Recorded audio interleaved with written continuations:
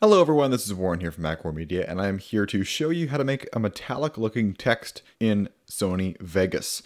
This should look pretty good. I think it's pretty much doable in all the versions, as long as you have bump map in your video effects and uh, just basic text. First, I go to legacy text and I take a default text and I put it on the text layer. And I get rid of sample text. A lot of text, text, text there. And we'll call it uh, something that looks cool when it's all bolded and metallic. How about we call it like Warzone? Oh my god, I fail text that fail typed. Oh my god, text is just flowing through the veins. Now I find like kind of a bold font. Uh, kind of a, a go-to is Impact.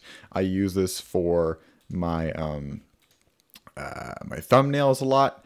And now uh, this is sort of our first step because we got our word in the text we like. And uh, yeah, so that's first step. Then I like to take a, uh, well, there's kind of a, a second part to this, sort of a advanced step that I'm going to take, which means I'm going to put a background on it. And I'll show you why in a sec. So what kind should I do? Maybe a color gradient and it'll, it'll just be uh, this one here, this sort of vignette looking thing. You gotta make sure we have enough uh, video tracks. Then we're gonna put this above that. Ooh, voice crack. It was actually kind of a major voice crack, so my bad. And I'm just gonna darken it up like that.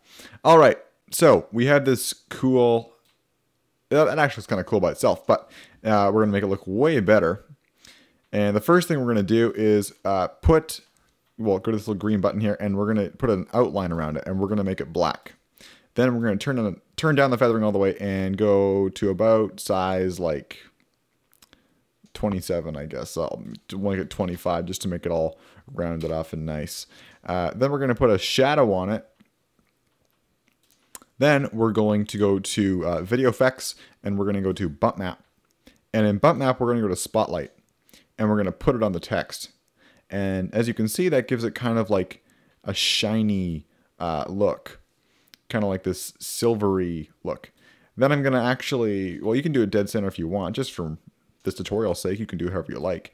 But uh, I'm going to just slant it and uh, make the focus not so uh, small. Then I'm going to maybe actually up the intensity, turn down the focus a little bit.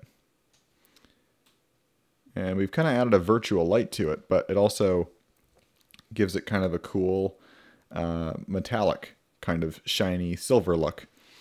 And that is sort of the one way you can do it. The reason I put this background on here, that you can see if I get rid of it, it kind of gets rid of the outline and the uh, shadow, and that kind of, I think, adds to it. Another thing you can do, uh, this won't look good all the time, kind of depends on what text you're using, but you can actually up the bump height a little bit and actually give it some texture. As you can see, this is like without and then with and you can like move the light around so it makes um, the shadow affect it differently. You know what? I'm going to put the light on top and I'm going to move it kind of like this. And you can see, looks pretty sweet. Thank you so much for watching, and if you like this, please give it a like, and uh, if you know someone who might appreciate Sony Vegas tutorials, uh, just share the channel. MacWar Media 2 is my second channel. I have a main channel called MacWar Media, where I do short films and all that fun stuff. Thank you, and you can tweet me at MacWar Media or W Gevers, or you can uh, go to my Facebook page, which is facebook.com forward slash MacWar Media. Thank you so much. Bye-bye.